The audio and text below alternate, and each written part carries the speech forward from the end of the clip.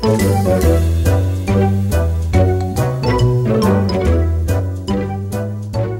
salut les joueurs!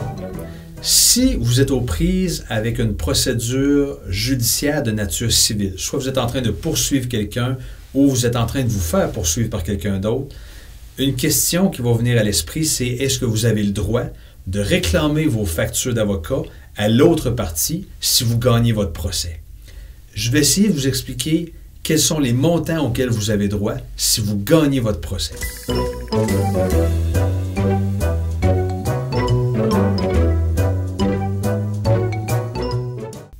Au départ, je dois départager les honoraires judiciaires des honoraires extrajudiciaires. C'est quoi les honoraires judiciaires? C'est des montants qui sont supervisés par la loi. Exemple, vous voulez traîner quelqu'un en cours, vous allez aller au greffe, vous allez déposer la procédure, vous allez payer un montant requis par le ministère de la Justice pour avoir le droit de traîner quelqu'un en cours. C'est ce qu'on appelle communément le timbre judiciaire. La personne qui reçoit la procédure va aussi devoir payer un timbre pour avoir le droit de se défendre. C'est aussi un frais judiciaire.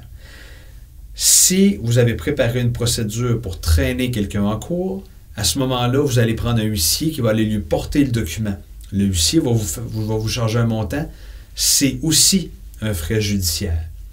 En cours de route, il est possible que vous ayez à requérir les services d'un sténographe ou d'une sténographe c'est encore des montants qui sont prévus par la loi, donc c'est des honoraires judiciaires. Donc, à chaque fois qu'il y a des honoraires que vous allez devoir payer qui sont supervisés par diverses lois, c'est des honoraires judiciaires. Allons de l'autre côté, il y a les honoraires extrajudiciaires. C'est quoi les honoraires extrajudiciaires? C'est les montants que vous allez négocier comme paiement avec votre avocat. Votre avocat peut prendre une entente avec vous à taux horaire. Il peut prendre une entente avec vous à pourcentage des gains que vous allez recevoir ou il peut s'entendre avec vous pour fixer un montant précis qui va vous charger, peu importe le temps que ça prend. Donc, il y a trois grandes méthodes de rémunération et vous allez négocier avec l'avocat la méthode de rémunération. Et si vous n'êtes pas content, vous pouvez aller prendre un autre avocat négocier une autre méthode. Ce qui fait en sorte que puisque vous avez une marge de manœuvre de négocier avec l'avocat, ce n'est pas des honoraires qui sont supervisés par la loi. Donc, si vous choisissez un avocat qui charge très cher, c'est votre choix. Le gouvernement ne supervise pas ça avec des lois. Donc, c'est des honoraires extrajudiciaires. Maintenant, à quoi est-ce que vous allez avoir droit si vous gagnez votre cause contre la partie adverse? Habituellement, le juge va condamner la partie adverse qui perd à payer les frais judiciaires de la partie qui gagne. Donc, frais de sténographe, frais d'huissier, les frais de justice, ça va vous être remboursé par l'autre partie. Qu'est-ce qu'on fait avec les honoraires extrajudiciaires? Là, il y a eu des changements au fil du temps.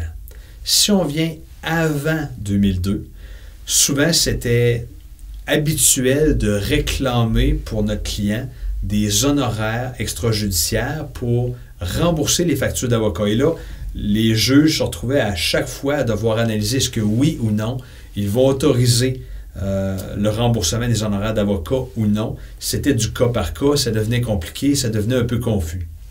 Ce qui fait qu'en 2002, la Cour d'appel, dans l'arrêt Viel, est venue dire voici comment est-ce qu'on va gérer ça désormais. Pour qu'une partie qui gagne son procès ait le droit de se faire rembourser ses honoraires extrajudiciaires par la partie adverse, il va falloir que la partie adverse ait fait un abus de procédure. Et là, il faut démêler l'abus de droit et l'abus de procédure.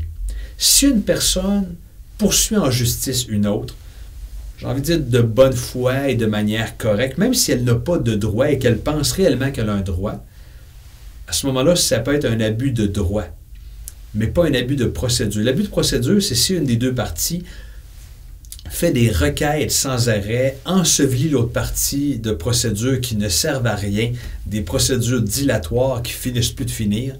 Là, il y a un abus de procédure. Quand il va y avoir un abus de procédure, c'est à ce moment-là que la partie qui perd pourrait se voir condamnée à payer les honoraires de l'autre avocat. Je résume. Si après un procès de nature civile, vous gagnez, la règle générale est que vos honoraires judiciaires sont remboursés. La règle générale est aussi que vos honoraires extrajudiciaires ne sont pas remboursés, sauf s'il y a un abus de procédure de la part de l'autre partie. Vous avez maintenant une carte de plus dans votre jeu.